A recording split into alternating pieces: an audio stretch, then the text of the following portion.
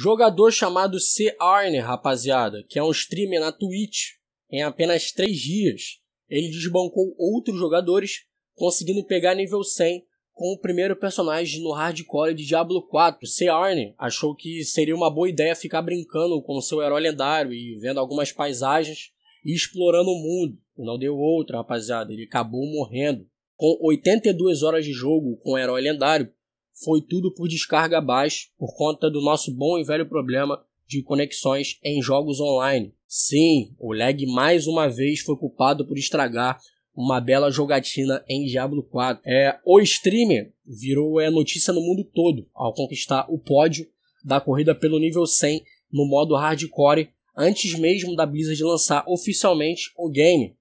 Ele acabou aproveitando de acesso antecipado e concedido é, a alguns usuários que adquiriram as versões Deluxe e Ultimate de Diablo 4. Como nessa modalidade é, o jogador só tem uma vida e basta qualquer descuido para ter que recomeçar do zero, é, o feito de Arnia foi realmente impressionante.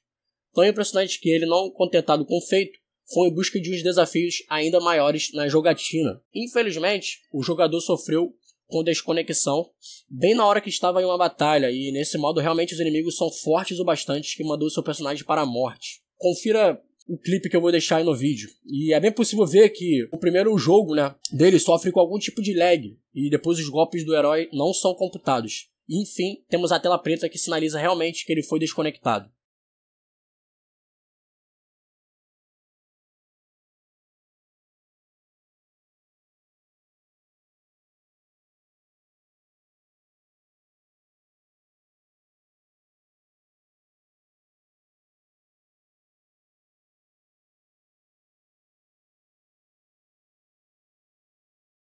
No! Hello? I'm fucking... Are you kidding me?